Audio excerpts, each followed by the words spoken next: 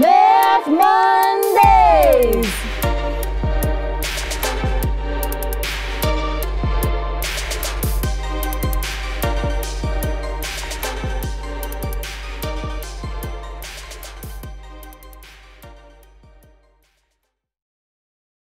The name of this game is Bowl a Fact. This is a one to two player game. What you need to play this game is a pyramid of numbers and three dice. This can be drawn out on paper at home or at school. The goal of the game is to cover up all of the numbers.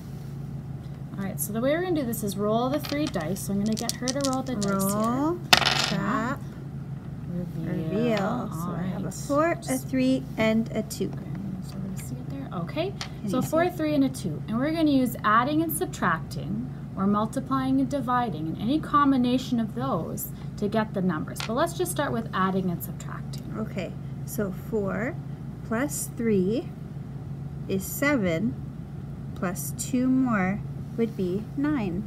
All right. And we're gonna write this down as we go along so we have proof of how we got those numbers. All right, so I see, well, I'm gonna do four plus three again, which gives me seven. But instead of adding two, I'm gonna take away two. And four plus three is seven. Take away two gives me five. So we can cover up the five as well. There we go. Okay.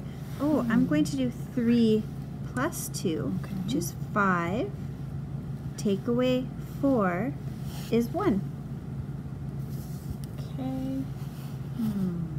Well, if I do four take away three, that'll give me Four, one. Take away three. And then if I add two, that will give me three. There. we Go.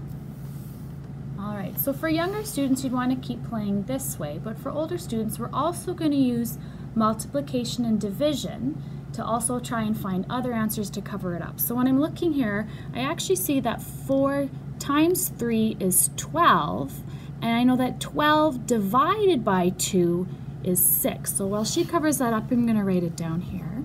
So 4 times 3, but I want to show that I use those numbers together, so I'm just going to put those in brackets. And I'll just write the answer underneath for myself. So I know 4 times 3 is 12, and then I divided it by 2 to give me that 6 answer right there. Okay.